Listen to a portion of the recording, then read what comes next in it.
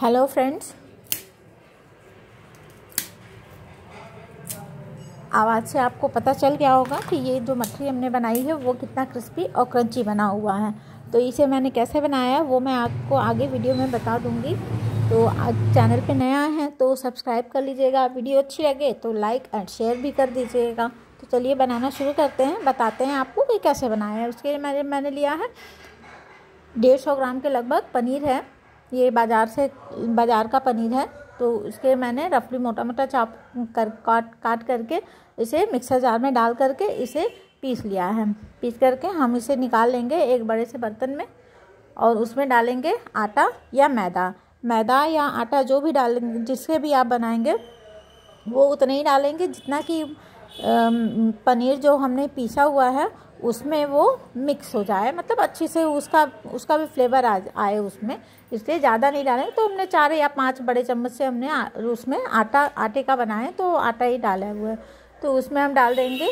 उसे अच्छी तरह से मिक्स कर लेंगे पनीर में।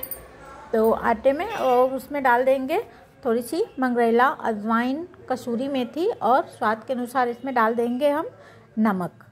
तो ये बाकी सब मसालों को डाल करके इसमें अच्छी तरह से इसे हम मसल मसल करके मिक्स कर देंगे ताकि पनीर और आटा या मैदा जिसे भी आप बना रहे हैं वो अच्छी तरह से मिक्स हो जाए। जब वो अच्छे से मिक्स हो जाएगा तो फिर हम लेंगे क्यूब एक क्यूब लेंगे वो चीज़ का। तो उसे हम जिस पे अदरक लहसुन ग्रेट करते हैं उसी पर हम कद्दूकस पे उसे हम कस लेंगे। आप इसे पनीर के साथ भी आप इसे का, काट करके इसे पीस सकते हैं। तो मैंने तो मैं भूल गई थी तो मैंने इसे बाद में इसे इस तरह से डाल दिया है। तो एक या दो क्यूब जो भी आप डालना चाहें, वो आप उसमें डाल दीजिएगा और फिर उसे भी हम अच्छी तरह से उसे हम मिक्स कर देंगे।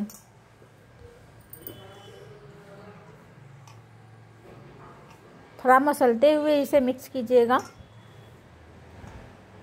अभी अच्छी तरह से मसल गया है तो जो मिक्सर जार में जो थोड़ा सा लगा हुआ था, थोड़ा सा पानी डाल करके वो भी हमने इसमें डाल दिया है और इसका टाइट सा डो तैयार कर लेंगे।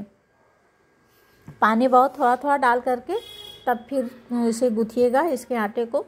अब तेल लगा करके और इसे हम थो, मतलब थोड़ी देर के लिए दस मिनट के लिए रेस्ट के लिए छोड़ दीजिएगा। फिर इसके बाद इसे हम ले एक लोहिया बनाएँगे अपने हिसाब से।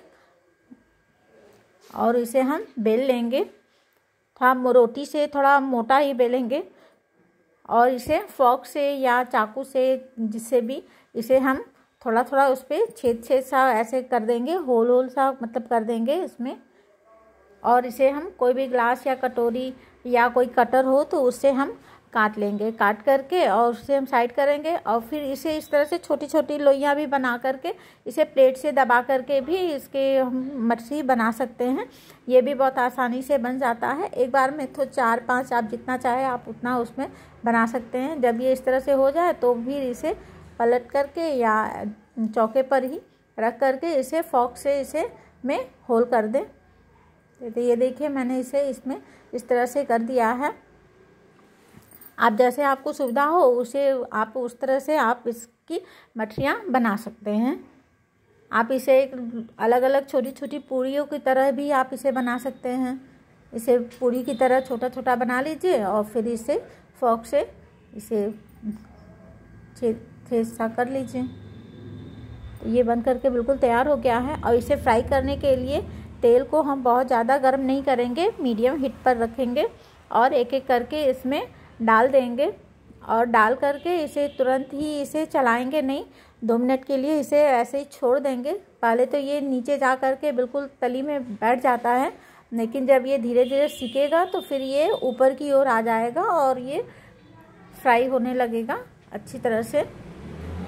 इसे ज़्यादा हाई फ्लेम पे इसे फ्राई मत कीजिएगा, मीडियम लो फ्लेम पर ही इसे फ्राई करेंगे क्रिस्प होने तक। तो ये देखिए मैंने इसे इस तरह से निकाल लिया है फ्राई करके। ये थोड़े से मैंने चपाती की तरह भी बना दिए हैं। रेसिपी अच्छी लगी हो तो लाइक, शेयर एंड सब्सक्राइब करना बिल्कुल मत भूलिएगा और आप मुझे भी बताइएगा कि कैसा लगा। Thanks for watching